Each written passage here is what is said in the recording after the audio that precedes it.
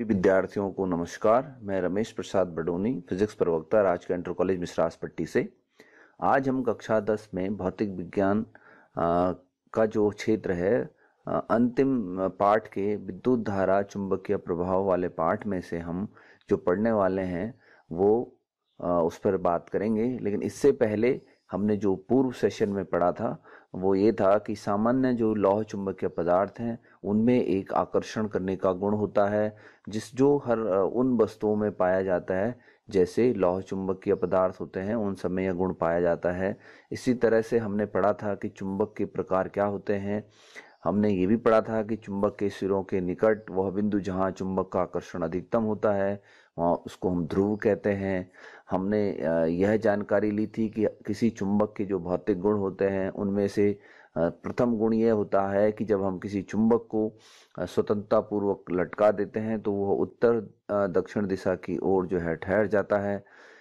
इसी तरह से चुंबक के उत्तरी तथा दक्षिणी ध्रुव को मिलाने वाली रेखा को चुंबकीय अक्ष कहते हैं। हमने चुंबकीय क्षेत्र और चुंबकीय बल रेखाओं के बारे में सीखा था। हमने ये भी सीखा था कि किसी कुंडली और चुंबक के बीच जब आपेक्षिक गति होती है, तब कुंडली में बहुत अधिक धारा प्रेरित होती है और इस प्रभाव को हम विद्युत चुंबकीय प्रेरण कहते हैं। तो आओ आज के जो सेशन है, उसमें हम जो पढ़ाने वाले हैं या सीखने वाले हैं, उसमें से मुख्यतः हम सबसे पहले बात करेंगे फ्लैमिंग के बाम हस्त नियम की। फिर हम पढ़ेंगे विद्युत मोटर यानी इलेक्ट्रिक मोटर को, और फिर इसके बाद हम पढ़ेंगे फ्लैमिंग का दाएँ हाथ का नियम यानी फ्लैमिंग राइट हैंड रूल्स, और फिर इसके बाद हम विद्युत जनित्र और कुछ अभ्यास कार्य या आंकिक प्रश्न पर हम कुछ फोकस करेंगे। बाम हस्त नियम। फ्लैमिंग के बाम हस्त नियम के अनुसार यदि हम अपने बाएँ हाथ के अंगूठे तर्जनी तथा मध्य उंगली को इस प्रकार से फैलाएँ कि वो तीनों म्यूचुअली परपेंडिकुलर हों यानी एक दूसरे के लंबवत हों तो तर्जनी जो उंगली है वो चुंबकीय क्षेत्र की दिशा और मध्य उंगली जिसको मध्यमा कहते हैं वो धारा प्रभाव की दिशा बताएगी। जबकि जो अंगूठा है वो यह संकेत करेगा कि आ, किस दिशा में जो है वहाँ पर बल होगा। तो इसे फ्लैमिंग के बाम हस्त नियम कहते हैं। इसके अनेकों उदाहरण हैं, जैसे कि विद्युत मोटर। सर्वप्रथम हम इस पर बात करेंगे। यह बोर्ड परीक्षा में भी एग्ज़ाम में आता है कि मोटर कैसे काम करती है, मोटर क्या होती है, मोटर में क्या क्या पार्ट्स होते हैं और किस नियम के आधार पर ये काम करती है। तो मोटर का जो सिद्धांत है उस पर हम बात करेंगे। तो सर्वप्रथम मोटर का सिद्धांत। विद्युत मोटर के सिद्धांत के अनुसार, यदि किसी कुंडली को चुंबकीय क्षेत्र में रखकर उसमें विद्युत धारा प्रभावित की जाए तो कुंडली पर एक बल कार्य करता है, और यह बल कुंडली को उसके अक्ष पर घुमाने में मदद करता है। विद्युत मोटर में जो एक हमारे पास डिस्क होती है, वो दिग परिवर्तक का काम करता है, यानी वो जो डायरेक्शन होती है उसको चेंज करता है तो दिग परिवर्तन मतलब जो डायरेक्शन को मूव कराता है। तो किसी परिपथ में विद्युत धारा के प्रभाव को एक्साइट करने में, यानी उसको बढ़ाने में, यह जो बलय होता है, वो काम करता है। विद्युत धारा को बढ़ाने में या एक्साइट करने में जो ये दोनों भुजाएँ यहाँ पर होती हैं, उन पर आरोपित बलों की दिशा को ये एक्साइट करता है। और इस प्रकार से कुंडली की जो पहली भुजा है, प्रथम साइड है, जो पहले नीचे की ओर थी, उस पर एक धक्का लगता है, बल लगता है और वो ऊपर की ओर आ जाती है। इसी प्रकार जो कुंडली की जो दूसरी साइड में जो दूसरी भुजा है वो पहले भुजा के ऊपर होती है तो उस पर फोर्स लगता है तो वो नीचे की ओर चली जाती है। इस तरह से कुंडली अपनी धुरी पर जो है, वो हाफ़ रोटेशन करती है, आधा घूर्णन करती है। तो हाफ़ रोटेशन एक टाइम में हाफ़ रोटेशन एक टाइम में तो लगभग 180 डिग्री पर वो रोटेट करती है। यानी हाफ़ 90 डिग्री फिर वापस नाइन्टी डिग्री तो इस तरह से वो 90 और 90 180 डिग्री का रोटेशन करती हैं, एक बार पॉजिटिव डायरेक्शन में, एक बार नेगेटिव या आप कह लीजिए अपोजिट डायरेक्शन में वो फिर से आ जाती है। तो इसलिए कुंडली तथा उसकी धुरी की दिशा में जब आधा घूर्णन पूरा हो जाता है तो हमारे पास हाफ़ साइकिल मिल जाता है। तो प्रत्येक आधे घूर्णन के बाद विद्युत धारा में जो एक्साइटिंग मोमेंट होता है, वो इस क्रम को दोहराने के कारण कुंडली में धुरी पर एक घूर्णन पैदा होता है, ठीक है? और इसी तरह से जो है, हमारी मोटर पर लगी जो कुंडली है, वो घूमने लग जाती है। तो किसी मोटर का जो सिद्धांत है और कार्य विधि है, उसमें जो लगी हुई एक कुंडली होती है या आयताकार कुंडली जो होती है, वो मैग्नेट के बीच में रखी जाती है। और यह शक्तिशाली फ़ील्ड मैग्नेट जो होता है, एक यांत्रिक बल का कार्य करता है, जो कुंडली को घुमाने में मदद करती है।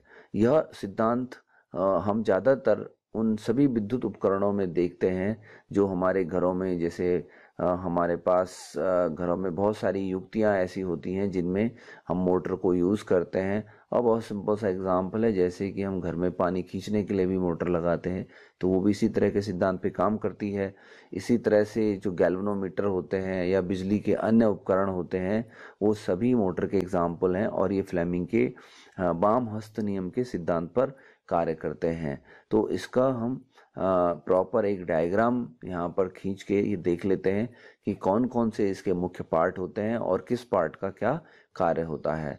तो जो विद्युत मोटर है, उसके जो मुख्य भाग होते हैं, उनमें सबसे पहले कोर, यानी उसका जो सेंटर पार्ट है, फिर उसकी जो कुंडली है, फिर उसमें लगे हुए कम्यूटेटर हैं, फिर ब्रसेस हैं, जो उसमें हमें ये देखने क्या कार्य करते हैं, फिर उसका फ़ील्ड मैग्नेट है, और वो सर्किट डायग्राम में हमें एक एनर्जी सोर्स चाहिए होता है, एक बैटरी चाहिए होता है तो एक बैटरी तो ये विद्युत मोटर के प्रमुख भाग हैं। और इनको हम डिटेल में इनके बारे में बात करेंगे। तो जैसा कि आप चित्र में देख रहे हैं कि हम जो सेंटर की बात कर रहे हैं, कोर की बात कर रहे हैं, यह एक नरम लोहे का सिलेंडर है, जिसे एक एक्सल पर लगाया जाता है और एक्सल को सरलता से घुमाने वाले जो बॉल बेयरिंग पर यह टिका होता है। इसके एक तरफ़ सॉफ्ट लगी होती है, जो शक्तिशाली चुंबकीय क्षेत्र को उत्पन्न करने का कार्य करती है। इसके चारों ओर की कुंडली में जब धारा प्रभावित की जाती है। और फिर बात करते हैं कुंडली की। तो कुंडली नरम लोहे के टुकड़े को यदि हम यहाँ पर सेंटर मान लें, उस पर तांबे के तार की वाइंडिंग कर लें। जैसा कि आप यहाँ चित्र में देख रहे हैं कि जो यहाँ पर ए बी सी डी के रूप में दिखाया जा रहा है इसका जो कार्य विद्युत क्षेत्र होता है वह एक कुंडली के रूप में होता है। यानी कुंडली एक नरम लोहे के टुकड़े पर अगर हम कॉपर वायर की वाइंडिंग कर दें तो जो यहाँ ए बी सी डी का जो आपको आयताकार जो पार्ट दिख रहा है वो एक तरह की कुंडली है और इसमें विद्युत धारा को प्रवाहित किया जाता है। इसी तरह से यहाँ पर S1, S2 दो कम्यूटेटर हैं और कम्यूटेटर का काम है कि यहाँ पर सिरों के, कुंडली के सिरों के बीच जो है जब इसको जोड़ देते हैं और इसको जब हम एक्सल के साथ जोड़कर गुजारते हैं तो इसमें जो कुंडली है वो उसको हाफ़ रोटेशन कराने में मदद करता है। यानी इसका जो कार्य है वो पर हाफ़ साइकिल में विद्युत धारा की दिशा बदलना है।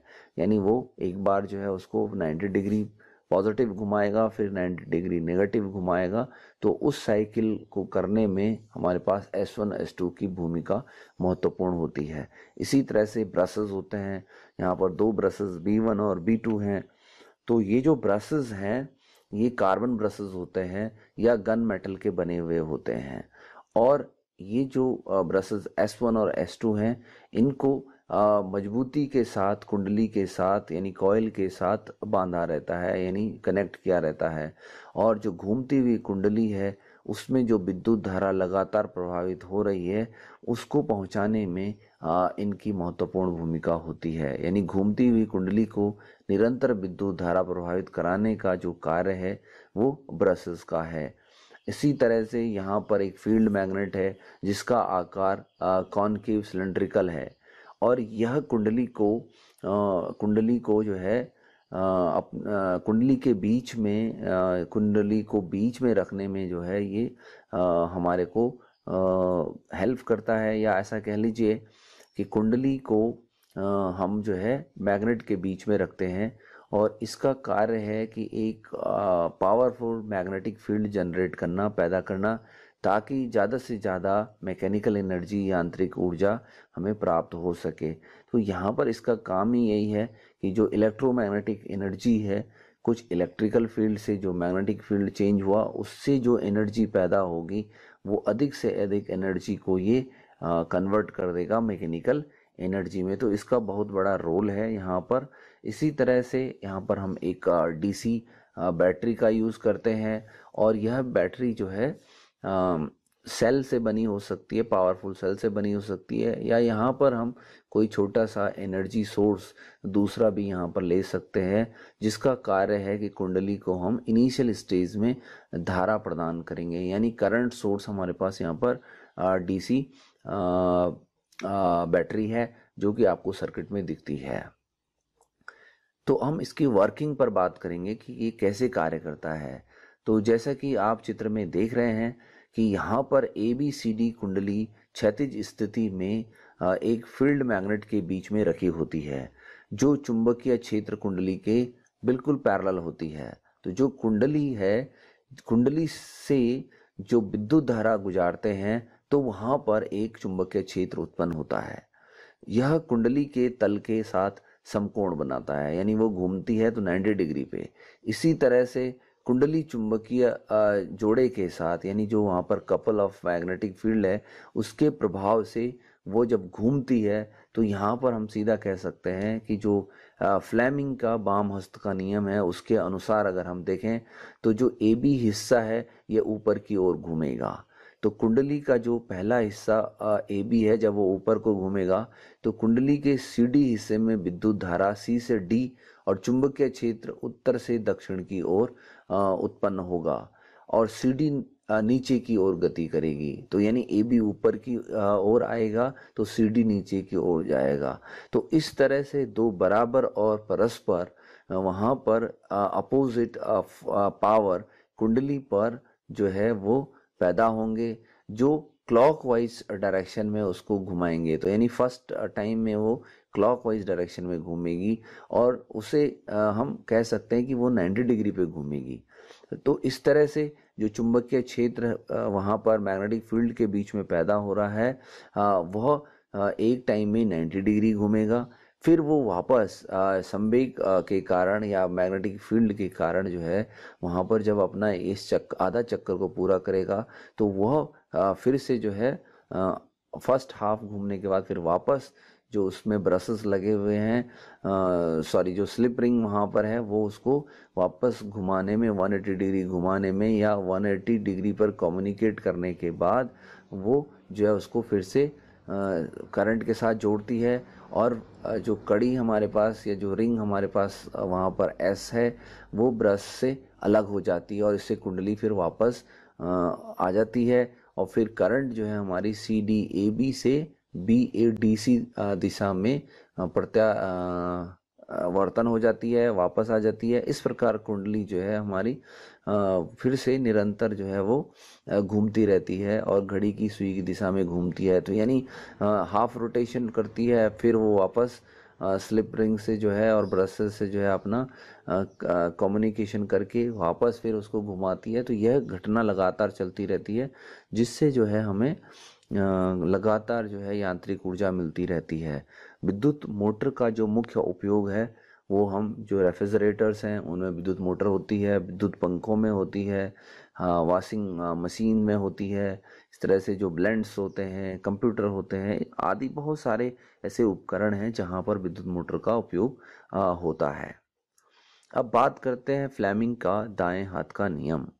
तो फ्लैमिंग के दाएँ हाथ के नियमानुसार, यदि हम अपने दाहिने हाथ की तर्जनी, मध्यमा उंगली और अंगूठे को इस प्रकार से स्ट्रेच करें कि वो तीनों एक दूसरे के लंबवत हो तो यहाँ पर जो तर्जनी है वो चुंबकीय क्षेत्र की दिशा की ओर संकेत करेगी और जो अंगूठा है वो चालक की गति यानी मोशन की दिशा बताएगी और जो मध्यम उंगली है वो वहाँ पर कितनी करंट इंडक्शन करंट वहाँ पर है, उसकी डायरेक्शन बताएगी। तो यानी कि हमारा, अगर ये तीनों उंगलियाँ एक दूसरे के परपेंडिकुलर हों तो यहाँ पर तर्जनी मैग्नेटिक फ़ील्ड को, जो अंगूठा है वो फोर्स को और जो हमारी मध्यम उंगली, मध्यमा है, वो विद्युत धारा की डायरेक्शन को बताती है। इस नियम के आधार पर हम बात करेंगे विद्युत जनित्र की। तो विद्युत जनित्र यानी एसी जनरेटर या एसी डायनामो तो एसी डायनामो एक ऐसी युक्ति है जो हमारे पास जो फ्लैमिंग का राइट हैंड रूल है, उसके अनुसार कार्य करती है।